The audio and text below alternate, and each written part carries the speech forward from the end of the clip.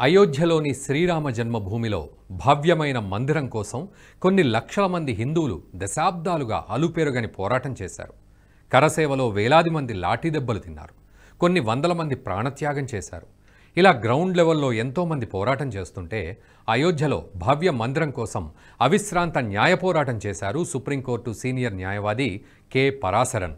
ఇవాళ భవ్య రామమందిర నిర్మాణం జరుగుతోందంటే దాని వెనకున్న ప్రధాన కారకుల్లో ప్రముఖంగా చెప్పుకోవాల్సిన పేరు పరాశరన్. దాదాపు ఐదు వందల ఏళ్ళపాటు సాగిన ఈ మందిర పోరాటంలో అంతిమ ఘట్టానికి అంతిమ పోరాటానికి నేతృత్వం వహించింది ఆయనే. అది కూడా తొంభై మూడేళ్ళ వయస్సులో. అంతటి పుణ్యమూర్తి. సుప్రీంకోర్టులో రామ్ లల్లా తరఫున వాదనలు వినిపించేందుకు ఆయన ఇంటి నుంచి బయలుదేరే ముందు ప్రధాన ద్వారం వద్ద ఎక్కడి నుంచి వచ్చిందో తెలియదు కానీ ఓ వానరం కనిపించిందంట. వాదనలు జరిగిన నలభై రోజుల పాటు ఇలాగే జరిగిందట. ఆయనకు రాముడన్నా రామభక్తుడైన హనుమంతుడన్నా ఎనలేని భక్తి. ఒక దశలో స్వయంగా ఆ హనుమంతుడే తన ఇంటికి వచ్చాడని కె. పరాశరన్ ఉద్వేగానికి గురయ్యారట. ఈ విషయాన్ని ఆయనే ఓ సందర్భంలో తెలిపారు. అయోధ్య ఉద్యమంలో రెండు రకాల పోరాటాలు మనకు కనిపిస్తాయి. ఒకటి ప్రజా ఉద్యమం అయితే రెండవది కోర్టుల్లో న్యాయ పోరాటం. దేశ సర్వోన్నత న్యాయస్థానంలో ఈ పోరాటానికి రామ్లల్లా తరఫున రామభక్తుడైన తొంభై మూడేళ్ళ కె. పరాశరన్ నేతృత్వం వహించారు. తొంభై పదుల వయస్సుల్లో ఆయన నవ యువకులకు ఏమాత్రం తీసిపోరు. ఒక పదిహేను నిమిషాలు నిలబడితే చాలు. కాళ్ళు లాగేస్తున్నాయంటూ అందరూ కూడా కూలబడే రోజులివి. అయినా సుప్రీం ధర్మాసనం ముందు ఆయన గంటల తరబడి తన వాదనలు వినిపించారు. ఒక దశలో మీరు వయస్సులో పెద్దవారు కావాలంటే కూర్చొని మీ వాదనలు వినిపించండి అంటూ సుప్రీం ధర్మాసనం ఆయనకు సూచించింది కూడా. అయితే తాను మర్యాద పురుషోత్తముడైన రామ్లల్లా న్యాయవాదినని ఆయన తరఫున వాదనలు వినిపిస్తున్న తాను సుప్రీం ధర్మాసనం ముందు కూర్చోలేనని అలాగే నిలబడి తన వాదనలు వినిపించారు. దేశ సర్వోన్నత న్యాయస్థానంలో అయోధ్య భూమి వివాదం కేసు విచారణ వరుసగా నలభై రోజుల పాటు కొనసాగింది. ఈ నలభై రోజులు కె. పరాశరన్ స్వయంగా కోర్టుకు హాజరయ్యారు. ఉదయం పది గంటల ముప్పై నిమిషాలకు ఆయన కోర్టు హాల్లో ఉండేవారు. విచారణ ముగిసే వరకు హాల్లోనే ఉండేవారు. సుప్రీం ధర్మాసనం ఆదేశించినప్పుడు తన వాదనలు వినిపించేవారు. తన ఆర్గ్యుమెంట్స్ వినిపించడమే కాదు సున్నీ వక్ఫ్ బోర్డు తరఫు లాయర్ రాజీవ్ ధావన్ వాదనలు కూడా ఆయన ఓపిగ్గా వినేవారు. వాదనల సందర్భంలో ఒక్కోసారి టెన్షన్ వాతావరణం నెలకొనేది. ఒక దశలో ముస్లిం సంఘాల తరఫున వాదనలు వినిపించిన సీనియర్ అడ్వకేట్ రాజీవ్ ధావన్ అసహనానికి గురైన పరాశరన్ మాత్రం ఎన్నడూ కూడా అమర్యాదగా వ్యవహరించలేదు. చాలా హుందాగా తన వాదనలు వినిపించారు. ఒక సందర్భంలో రాజీవ్ ధావన్ ధర్మాసనం ముందు పేపర్లను సైతం చించేశారు. అంతేకాదు తనదైన కామెంట్లతో సైతం పరాశరన్ను రెచ్చగొట్టేందుకు ధావన్ ప్రయత్నించారు. అయితే స్థితప్రజ్ఞుడైన పరాశరన్ ఇవేవి పట్టించుకోలేదు. ఆయన దృష్టిలో అల్ప విషయాలకు స్థానం లేదు. ఆయన దృష్టి మొత్తం తనకు అప్పగించిన రామకార్యంపైనే కోట్లాది మంది హిందువులు పెట్టుకున్న నమ్మకాన్ని నిలబెట్టడంపైనే తన దృష్టిని నిలిపారు. సుప్రీంలో వాదనలు వినిపించే సమయంలో పరాశరన్ టీంలో P V Yogeswaran Anirudh Sharma Sridhar Pottaraju Aditi Dani Ashwin Kumar D S Bhaktivardhan Singh వంటి సుప్రీంకోర్టు సీనియర్ న్యాయవాదులున్నారు. రెండు వేల పంతొమ్మిది అక్టోబర్ పదహారున సుప్రీం ధర్మాసనం ముందు వాదనలు ముగిశాయి.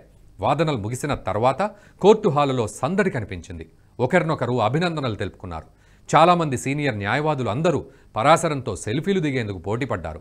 న్యాయం రామ్లల్లా పక్షమే ఉందని సత్యమే గెలుస్తుందని జై శ్రీరామ్ నినాదాలు చేశారు. వాదనలు ముగిసిన తర్వాత సుప్రీం ధర్మాసనం తీర్పును రిజర్వ్ చేసింది. నవంబర్లో supreme court chief justice Ranjan Gogoi retire అవనుండడంతో November తొమ్మిదవ తేదీన ఐదుగురు సభ్యుల సుప్రీం ధర్మాసనం తన తుది తీర్పును వెలువరించింది. ముఖ్యంగా ఐదు అంశాలపై స్పష్టమైన ఆదేశాలను సుప్రీం ధర్మాసనం జారీ చేసింది. ఒకటి వివాదానికి కేంద్ర బిందువుగా నిలిచిన రెండు పాయింట్ ఏడు ఏడు ఎకరాల స్థలాన్ని భాగాలుగా పంచడం కుదరదు. ఇదంతా ఒకే భూభాగం. ఇది రామ్లల్లాకు చెందుతుంది. ఆ స్థలంలో రామమందిర నిర్మాణం చేపట్టాలి. తీర్పు అమలుకు ప్రభుత్వం మూడు నెలల్లో ఒక ప్రణాళికను రూపొందించాలి. రెండవది బాబ్రీ మసీదు ఖాళీ స్థలంలో నిర్మించింది కాదు మసీదు నిర్మాణానికి ముందు అక్కడున్న నిర్మాణాన్ని కూల్చివేశారా లేదా అన్నది ఆర్కియాలజికల్ సర్వే ఆఫ్ ఇండియా స్పష్టం చేయలేదు. బాబ్రీ మసీదు కట్టడానికి ముందు అక్కడున్న నిర్మాణం ఇస్లామిక్ నిర్మాణం కాదని అక్కడి శిథిలాలకు సంబంధించి ఏఎస్ఐ ఇచ్చిన నివేదికలోని ఆధారాలు చెబుతున్నాయి. ఈ స్థలంలో పదిహేను వందల ఇరవై ఎనిమిది నుంచి పద్దెనిమిది వందల యాభై ఆరు మధ్య నమాజు జరిగినట్లు ఆధారాలు లేవు అని పేర్కొంది.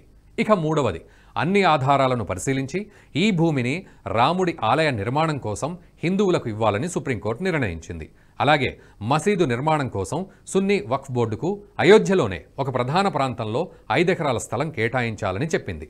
ఇక నాలుగో పాయింట్ రెండు పాయింట్ ఏడు ఏడు ఎకరాల స్థల నిర్వహణ ఆలయ నిర్వహణ బాధ్యతలు చూడటానికి కేంద్ర ప్రభుత్వం ఆధ్వర్యంలో ట్రస్ట్ ఏర్పాటు చేయాలి.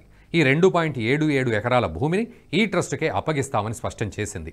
ఇక ఐదవది పంతొమ్మిది వందల తొంభై రెండులో బాబ్రీ కూల్చివేత చట్టబద్ధ పాలనను ఉల్లంఘించడమేనని పేర్కొంది. నవంబర్ తొమ్మిదిన ధర్మాసనం తుది తీర్పును వెలువరించినప్పుడు ధర్మాసనం ముందు సత్యమేవ జయతే అంటూ పరాశరన్ ఎంతో ఆత్మవిశ్వాసంతో కనిపించారు.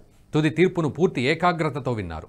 అయోధ్య రాముడిదే అని ధర్మాసనం తేల్చి చెప్పడంతో ఆ తర్వాతి క్షణంలో హాల్లోని వారందరూ ఇంకా లాయర్లంతా ఒక్కసారిగా పరాశరం దగ్గరికొచ్చి అభినందనలతో ముంచెత్తారు. సెల్ఫీలు దిగడానికి పర్మిషన్ అడిగారు. అయోధ్య వివాదానికి ఎండు కార్డు పడేలా చూడటమే నా చివరి కోరిక అని కేసు ప్రొసీడింగ్ సమయంలో పరాశరన్ కామెంట్స్ చేశారు.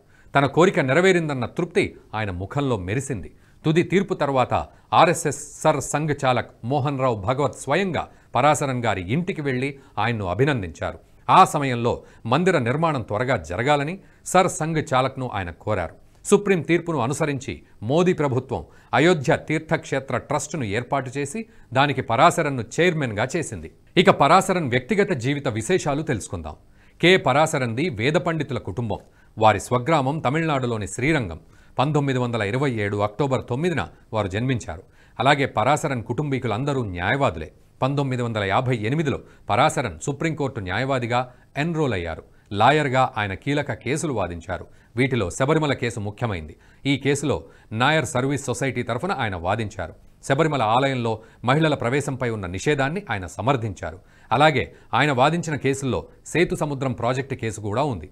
ఈ కేసులో ప్రభుత్వానికి వ్యతిరేకంగా ఆయన వాదించారు. రాముడి కాలంలోనే సముద్రంలో బ్రిడ్జ్ నిర్మాణం జరిగిందని పరాశరన్ తన వాదనలు వినిపించారు.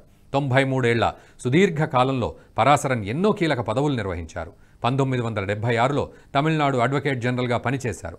పంతొమ్మిది వందల ఎనభై మూడు ఎనభై తొమ్మిది వరకు అటార్నీ జనరల్ పదవిలో ఆయన కొనసాగారు. న్యాయ వ్యవస్థకు అందించిన కాంట్రిబ్యూషన్కు గాను అనేక అవార్డులు ఆయనకు దక్కాయి. రెండు వేల మూడులో పద్మభూషణ్ అవార్డు రెండు వేల పదకొండులో పద్మ విభూషణ అవార్డులు పరాశరన్కు లభించాయి. ఇక రెండు వేల పన్నెండు జూన్లో ఆయన రాజ్యసభకు నామినేట్ అయ్యారు. పరాశరన్కు చిన్నప్పటి నుంచి భక్తి ఎక్కువ. పరాశరన్ తన వాదనల్లో హిందూ ధర్మానికి సంబంధించిన అనేక సూక్తులను అలవోకగా ఉదహరించేవారు. ఇది అయోధ్య కేసుకే పరిమితం కాదు. ఆయన వాదనలు వినిపించిన ఏ కేసులోనైనా ఇది మామూలే. దీంతో పరాశరన్ వాదనలు వినడానికి తోటి లాయర్లు ఆసక్తి చూపిస్తూ ఉంటారు. హిందూ ధర్మంపై ఆయనకున్న పట్టును చూసి ఆశ్చర్యపోయేవారు కూడా ఉన్నారు. అయోధ్యలో భూమి పూజ పూర్తి అయి రామమందిర ప్రతిష్టాపన మహోత్సవం జరుపుకుంటున్న ఈ శుభ సందర్భంలో కేశవ్ పరాశరన్ లాంటి కర్మయోగిని స్మరించుకోవడం మన ధర్మం. వారు దేశంలోని జాతీయవాదులందరికీ నిత్య స్ఫూర్తి ప్రదాత. జాతీయవాద జర్నలిజానికి అసలైన వేదిక నేషనలిస్ట్ హబ్ని సబ్స్క్రైబ్ చేసుకోండి. నోటిఫికేషన్స్ కోసం బెల్ ఐకాన్ పై క్లిక్ చేయండి.